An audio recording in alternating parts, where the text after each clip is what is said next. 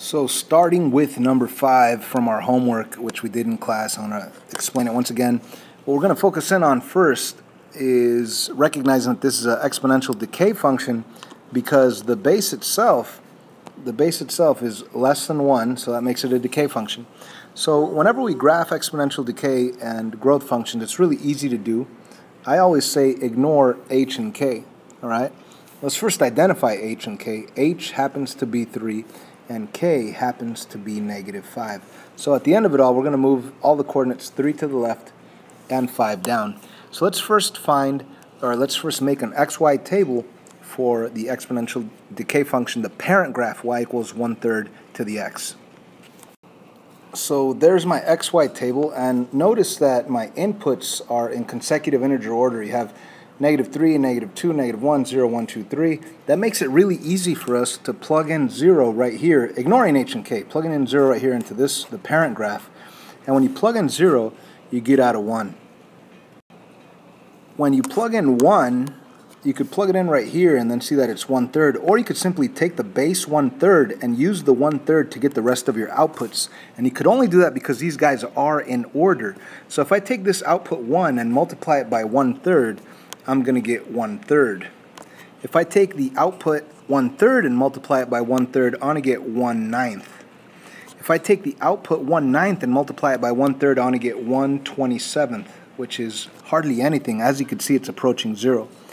Now going backwards, if you're going, if you're going this way, multiply by 1 third, multiply by 1 third, multiply by 1 third, going backwards, it would be doing the reciprocal of multiplying by 1 third, which is multiplying by 3 over 1, multiplying by the reciprocal of 1 third. So it's really like multiplying by 3. So 1 over 27 times 3 gives us 1 ninth, times 3 gives us th 1 third, times 3 gives us 1, times 3 gives us 3, times 3 gives us 9, and times 3 gives us 27, which of course, we're not even going to use this top one because it's already off the graph. So we have our coordinates. These are the coordinates to the parent graph, y equals 1 third to the x power. Let's graph them and then we'll worry about translating them according to h and k. So if I graph them, let's start with 0, 1. Uh, 0, 1 is uh, easy to do.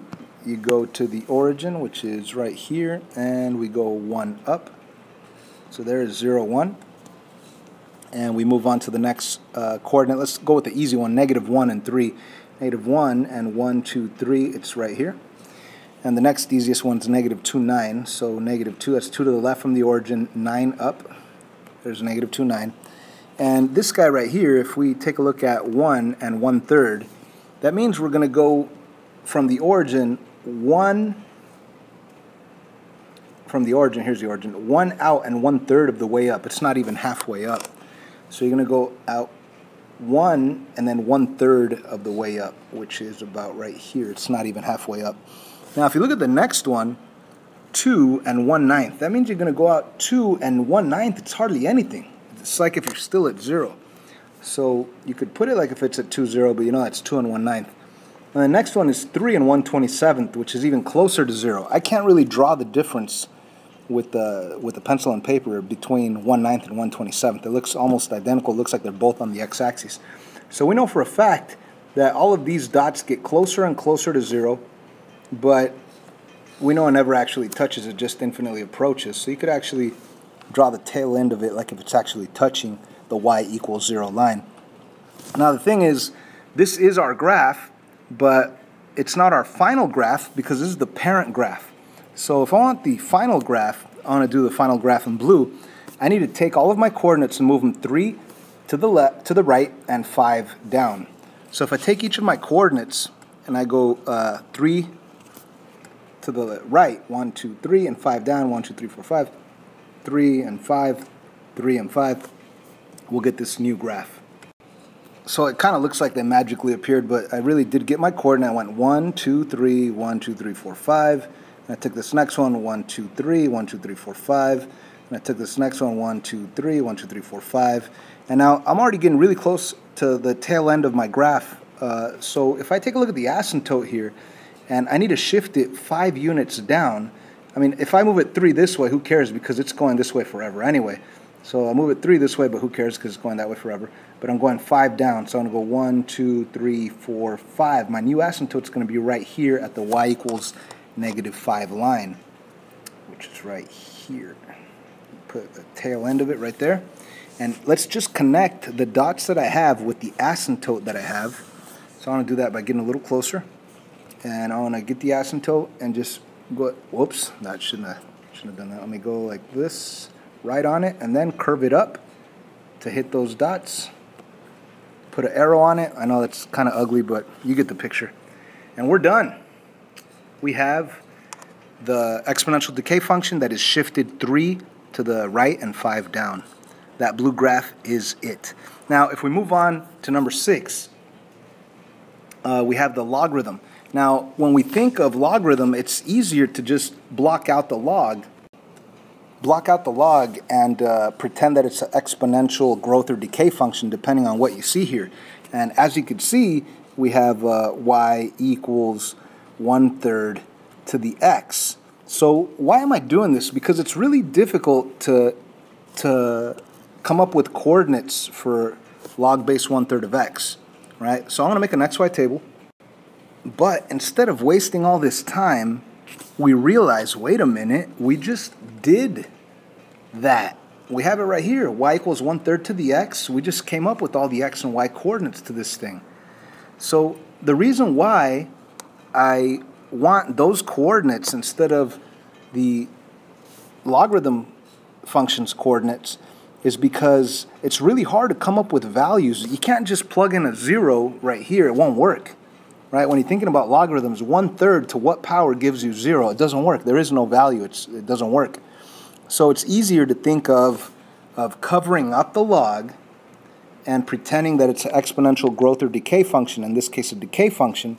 That way you could get the coordinates of that exponential decay function and then after that switch them so you could actually have the coordinates of your logarithmic function. Okay, so once again, cover up the log, pretend it's an exponential growth or decay, come up with your coordinates, which are the same coordinates over here because we already came up with these coordinates, right? And then after you come up with those coordinates, all you have to do is uh, switch them. That way you could have the coordinates to your actual logarithm, okay? So this is what I'm going to do.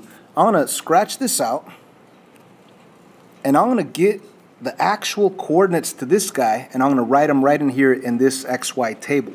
Now, how am I going to do that? All I need to do is look at the previous values, which are right here, which was to the inverse of the logarithm. So this is the inverse coordinates.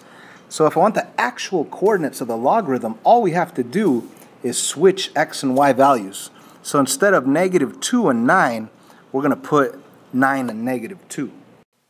And for the sake of time, I just wrote them all right there. And as you could see, all I did was switch them. Instead of negative 2, 9, it's 9, negative 2 over here. Instead of negative 1, 3, it's 3, negative 1 over here. Instead of 0, 1, it's 1, 0, and so on and so on. So I switched them. So now I actually have the coordinates of the logarithmic function. So now I could graph them. And there is no h and k shift, so it's really just a question of plotting these points. So I'm zooming in a bit so you could see it better. Uh, 9, negative 2, you go out 9, negative 2. Uh, 3, negative 1, 3, negative 1. Uh, 1, 0, 1, 0 is right there. Now the tricky part, 1 third, so you're going to go from the origin, you're only going to go out 1 third of the way and then up 1. But it's super close to 0. So actually let me zoom in even more so I could show you. 1 third of the way out and up 1 is going to be right there. It's not even halfway. And if you go 1 ninth of the way out, it's even going to be closer to 0, but you're up one more unit because it's 1 ninth and 2. And the last one, 127th and 3, that's super close to 0. I, I think we get the picture that it's going to infinitely approach the uh, x value of 0, which is the y-axis. And if we zoom back a bit, um, that makes total sense because as you look at the x values, they really do approach 0. All right, so the x values approach 0, so you know that your asymptote is x equals 0, right? If you're talking about asymptote. Uh, I don't think on the test I'm actually going to ask you to state the asymptote, but you should know how to do that. It's going to pop up on the midterm, so you might as well understand that right now. Anyways, let's finish uh, plotting or drawing the rest of this graph. All you got to do is follow the dots, connect it, and uh, put an arrow on it, and you're done. Let's move on to the third one, which is number seven. And as you could see, these three graphs build off of each other because you needed to come up with the coordinates first for the decay function. You use these coordinates to switch them to get the actual coordinates of the logarithmic function. And as you can see on number 7, we have the same exact logarithmic function as up here. The only difference is that you have an h and k shift. Over here you don't have an h and k shift.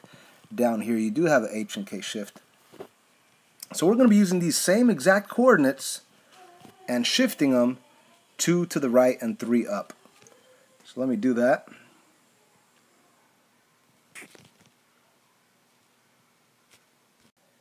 So I just uh, copied those same coordinates that I had up here, right? That I had up here, and I just redid them, redid them down there. So now all we have to do is worry about shifting those coordinates uh, two units because the h is 2, and you think opposite, so that means 2 to the right. And the k is 3, so that means 3 up. So if I want, I could plot all of these points and then graph them, or if I want, I could actually think about the numbers right here on the x and add 2 to all of them because moving the x values 2 to the right means that you're adding 2 to all of them. So you could add 2 to the 9 and make it 11, 2 to the 3 and make it a 5. Um, and I might as well do that just to show you guys how you could do it numerically. You don't have to do it numerically. You could graph them. Um, let me do both ways as you could see, I've plotted all the points uh, to the original parent graph, right? The logarithm uh, without the h and k. So all I did was uh, graph this guy right here. And I still need to shift it 2 to the right and 3 up. So I could take all these coordinates and move them 2 to the right, 3 up, 2 to the right, 3 up, 2 to the right, 3 up. Or I could have also done this numerically by, like I said, adding 2 to all my x's. And if you do add 2 to all your x's, those are the values you get. You get 11 instead of 9, 5 instead of 3. And then you go back to your y's and you think, what am I doing to my y's? Well, it's supposed to go up 3.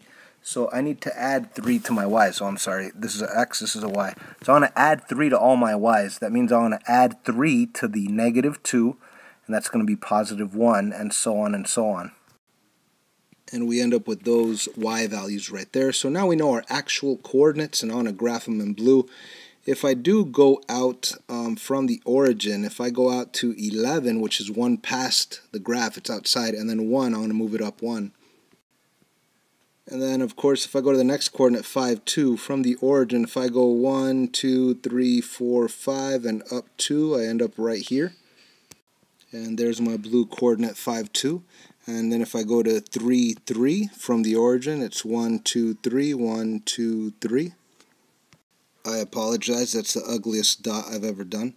And um, of course if I move uh, to the next point which is 2 and a third and 4 so if I go from 0 1 2 and a little tiny bit more then I go up to 4 I'm going to be right here okay? So we already could once you get to the fractions you could just jump to your asymptote and your asymptote, as you could see, was at the x equals 0, but obviously it needs to get shifted 2 units to the right. So if I go 1, 2 units this way, here's my new asymptote. So I might as well draw that right there. There's my new asymptote. It looks like it's on the actual asymptote, which is x equals 2. The asymptote in this case is x equals 2 because it's running up and down at 2. And all we need to do is connect the dots and we're done. Connect it, connect it. Sorry, it's kind of ugly. But we have the blue graph being our final graph, not the red one. Uh, again, you could add 2 to the x's, add 3 to the y's to get your final coordinates, or you could have just graphed this red one the way we did right here and taken each coordinate and moved it to this way, right? 1, 2, and then 3 up, could have taken this one two this way and three up, and you could take this this one two this way, three up, and you end up on that blue graph anyway. The asymptote, move it two this way and three up, it's still the same asymptote. So either way,